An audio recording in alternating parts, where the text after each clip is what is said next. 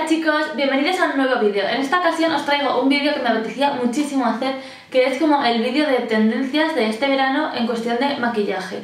Me apetecía muchísimo hacerlo porque hace nada estuve en una MAC Technique, creo que se llama, que son las clases estas que te imparten en MAC y la dio José Ojeda y me encantó. Es como la que más me ha gustado de todas las que he estado porque es como que sales con ganas de hacer cosas. Te guste o no el maquillaje que hagan, es como que te da trucos y te, no sé, te encanta. A mí este hombre me encantó. Entonces me apetecía como medio reproduciros ese maquillaje. Casi se me cae todo. Bueno, me apetecía como medio reproduciros ese maquillaje porque no tiene nada que ver conmigo en realidad. Bueno, es este que llevo yo ahora.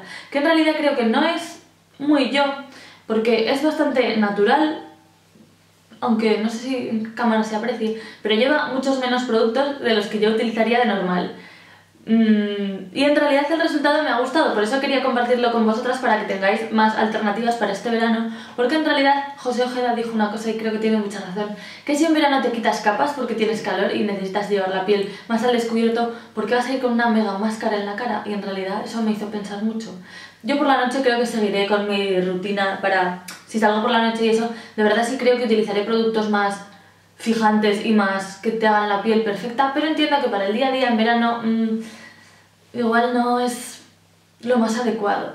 Entonces, este maquillaje me gustó mucho, me parece que es bastante sencillo, creo que es muy favorecedor, que para todos los días, como es tan rápido, te lo puedes hacer en un momento y no sé, me encantó.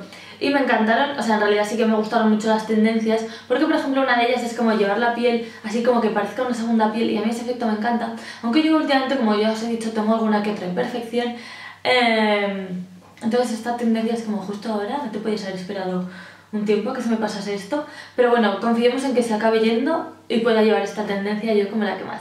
Así que os dejo con el vídeo, espero que lo disfrutéis, que os guste y muchas gracias por verlo.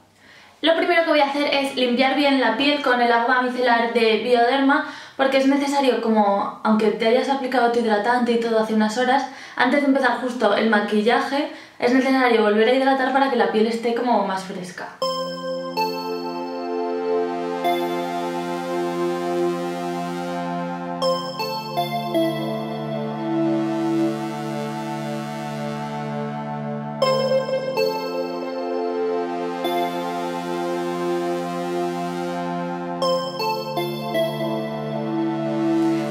Es aplicar el contorno de ojos, que es este, que es el Lightful Sea de MAC, y lo voy a aplicar como nos enseñaron. Hay que echarse un poquitito en la mano y entonces con una brochita, en este caso la mía no es de MAC, pero bueno, es esta de, de Sephora, es la típica que es como para base de maquillaje, y lo que hay que hacer es coger un poquito del contorno de ojos, descargarlo en toda esta zona a golpecitos, y una vez que esté descargado hay que dar como un masaje en la dirección de los pelitos de la ceja para hacer que penetre bien y como para mejorar la circulación de la zona.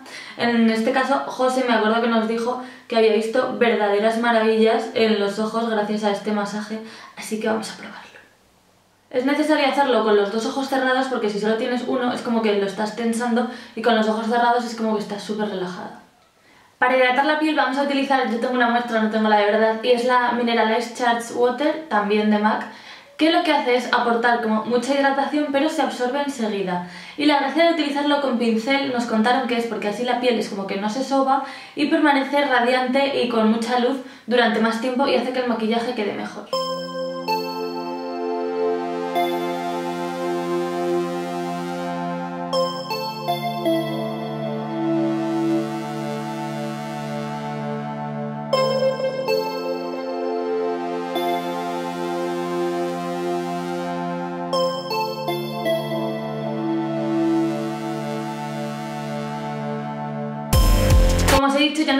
De MAC, pero creo que si me aficiono a utilizarla y a ser constante y tal, creo que sí que me la cogeré porque la verdad es que sí que se nota diferencia y el pelo es como muy diferente. Y yo la lavo cada vez que la utilizo porque al ser este pelito tan tan sintético, para la siguiente vez ya está seca, entonces me parece más higiénico si va a estar pasándose por la cara. Y eh, como podéis ver tengo bastantes imperfecciones, entonces este maquillaje en realidad no creo que sea la cosa que más me favorezca en estos momentos, porque se llevan las pieles como muy piel desnuda, efecto desnudo, que parezca que no llevas nada de maquillaje, entonces realmente se utilizan bases que tienen muy poca cobertura, para que se transparente la piel, digamos, que quede como que no vas maquillada, digamos. Entonces eh, yo voy a utilizar una base así, pero en estas zonas voy a tener que corregir sí o sí. Una de las bases que para mí mejor y más bonita dejan la piel en plan de luminosa y que parezca que no llevas nada es la Face and Body de Make Up Forever, así que voy a utilizar esa. Con la, hay que agitarla muy bien antes de usarla y la voy a utilizar con la Beauty Blender.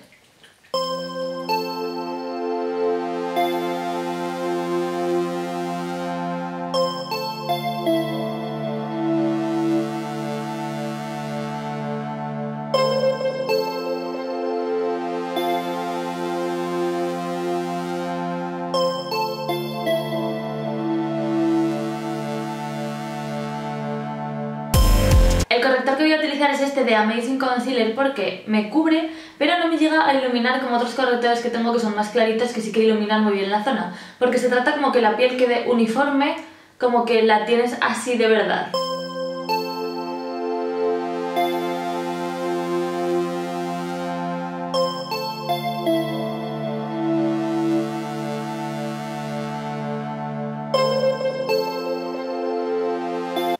También voy a tapar todas mis imperfecciones.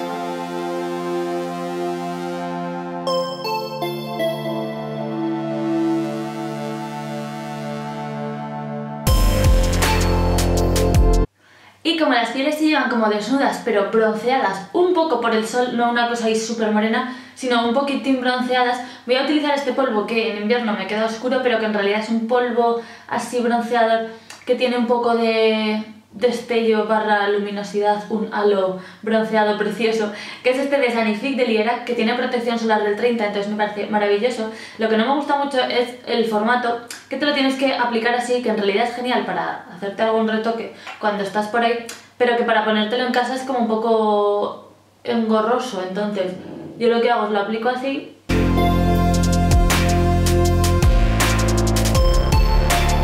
Y luego con una brocha de polvos cualquiera es como que lo reparto para que quede bien difuminado todo.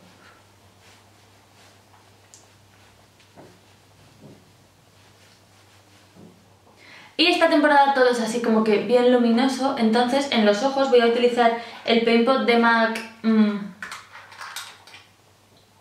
el Vintage Selection, que es el que utilizamos allí, y la verdad es que eh, yo ya lo tenía, pero fue como que lo redescubrí, fue como, pero qué precioso es, como he dejado de utilizarlo. Entonces es el que voy a utilizar, lo voy a utilizar con la brochita esta de MAC, que es la 233, que en realidad es genial, porque tiene una parte sintética y una parte de pelo, entonces es como dos pinceles en uno. Y lo voy a aplicar por todo el párpado móvil, o sea, móvil y no móvil, la verdad, porque es como lo utilizamos allí. Entonces es como que descargas todo el producto aquí y luego vas subiendo hacia arriba. Y la verdad es que queda un efecto precioso poniendo luego sombras encima, porque yo este siempre lo había utilizado solo, pero con una sombra encima queda precioso, ya lo veréis. Y la cuenca la voy a hacer con este color que es como un kaki grisáceo marrón. Es el tono coquette, no sé si lo acabo de decir, bueno, es el tono coquette. Y voy a hacer la cuenca de una forma que sinceramente yo nunca la había hecho, porque yo siempre es como que te fijas donde tienes eh, la zona que se mete, pues nos contaron que no, que donde hay que fijarse es en el hueso y dibujar el... dibujarlo en, en la zona donde está el hueso. Así que es lo que voy a hacer.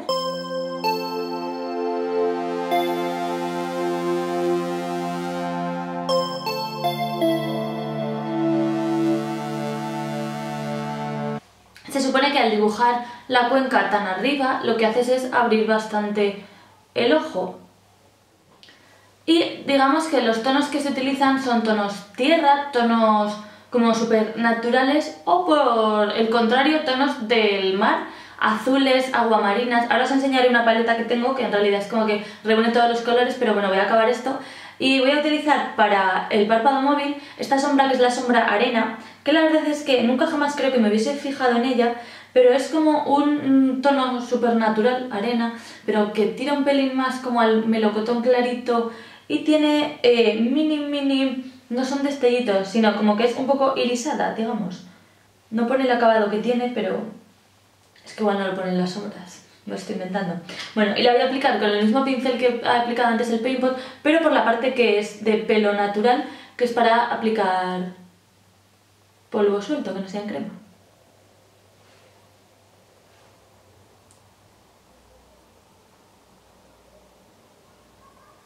Y me encanta cómo queda, ya os digo, con el paint pot debajo porque de repente esta sombra es como que tiene miles de destellitos y queda preciosa. Y como para integrar bien bien esta sombra, lo que vamos a hacer es aplicar esta misma sombra debajo aquí de la ceja un poco. Entonces como que todo el ojo está hecho en tonos marrones tierra. Mirad, esta es la paleta que digamos que reúne todos los colores... Ahora todos los colores de la temporada. Estos dos de abajo son los que hemos utilizado, que son Coquette y Arena, y estos dos de aquí son Blue Calm y Steamy. Me parecen unos colores preciosos y que creo que entre ellos también puedes jugar mucho y, por ejemplo, puedes hacerte un maquillaje en tonos marrones y añadirte la línea azul o hacértela en tonos azules y añadirte la línea marrón. No sé, me parecen unos colores preciosos para esta temporada. Y ahora lo que vamos a hacer es dibujar una línea, un eyeliner, con este eh, eyeliner que se llama eh, Brown Border es un marrón normal y corriente, entonces lo que voy a hacer es dibujar la línea y luego difuminarla con el mismo pincelito que estoy trabajando todo el rato, con el 233, porque se trabaja la verdad súper bien.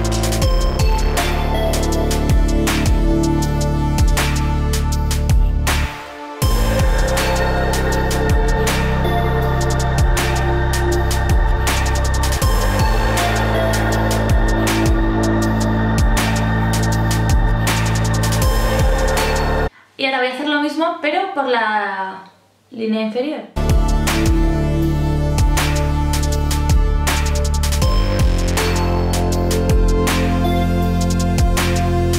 Y ahora voy a delinear eh, la línea de agua tanto interna como... o sea, tanto interna, tanto de arriba como de abajo.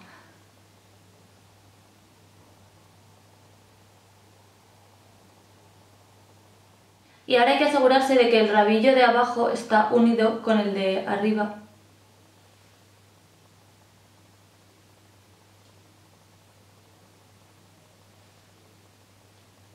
Para las cejas buscamos algo natural, que no sea tampoco muy recargado, simplemente como rellenar un poco la ceja, que quede bien marcada, pero que no sea la típica ceja hecha con el Brow Pomade de Anastasia. Entonces voy a utilizar el lápiz, que es el Brow Wiz, que dejar un acabado bastante más natural.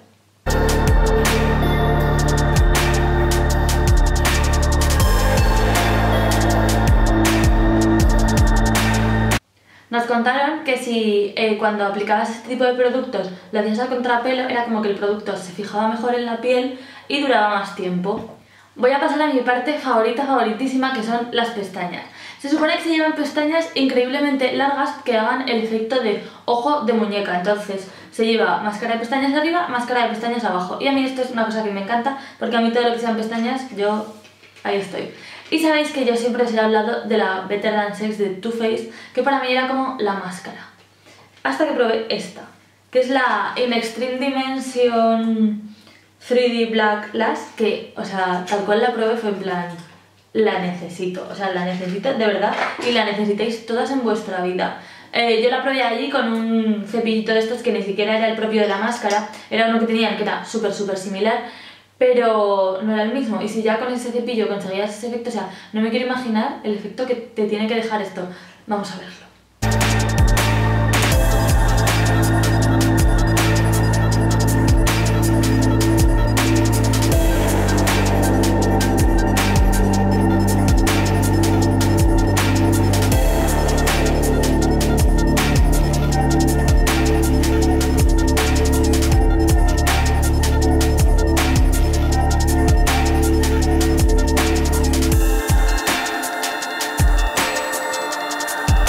No me digáis que no es lo más. Es una máscara de pestañas increíble. La verdad es que me ha encantado. Y lo mejor de todo es que en verano van a sacar la versión waterproof, que de verdad si la fórmula es igual, va a ser como... Mm, la necesito también. Y quería deciros que no se lleva eyeliner negro, por eso precisamente porque se trata de que las pestañas se ven así como súper pestañas y que el eyeliner negro no corte como la largura de la pestaña. Y vamos a seguir con la piel. En la piel se llevan, como os digo, se lleva la piel como con un toque de, de bronceado, sin que sea demasiado bronceado, y en las mejillas se lleva el colorete hasta aquí atrás para que parezca en realidad que lo que llevamos no es colorete, sino que nos ha dado el sol mientras andábamos por la calle y nos hemos puesto un poco rojitas. Entonces para ello voy a utilizar un colorete en crema, que es el Pale Pink de Bobbi Brown, que es este, Es este de aquí que es un poco así rosa, fucsia, pero no chillón. Y lo voy a utilizar ah, con esta brocha sintética de la Duo Fiber Face Brush de Real Techniques que me gusta mucho para aplicar coloretes en crema.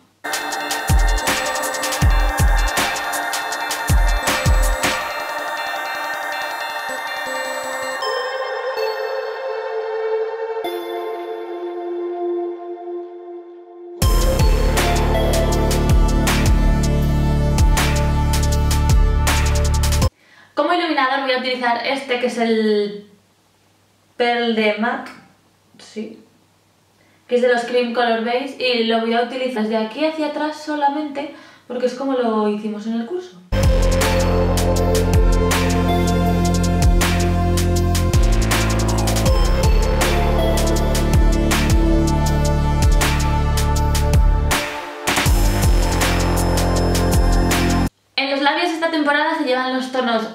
Frambuesa, tonos mora y aquí ya depende cada uno de la intensidad que le quiera dar o no. Yo lo que voy a hacer primero es delinear un poco los labios con el lápiz Soar, que es como el típico rosa que sirve para todo.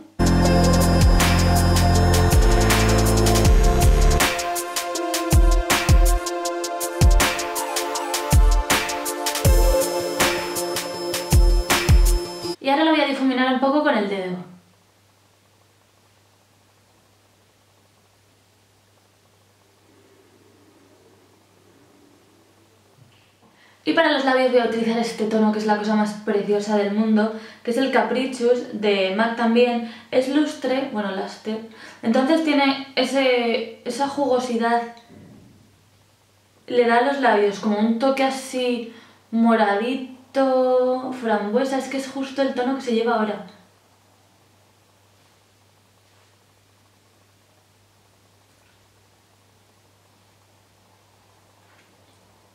Me parece que tiene justo el efecto este del labio mordido, que es como tan precioso y que en verano es tan maravilloso. Y para terminar vamos a utilizar el Fix Plus, pero bueno, el que es el de Charge Water, que es el de la bruma hidratante de que es mineral, que esta lo que hace es que retiene mejor el agua, entonces tu cara va a estar también más luminosa.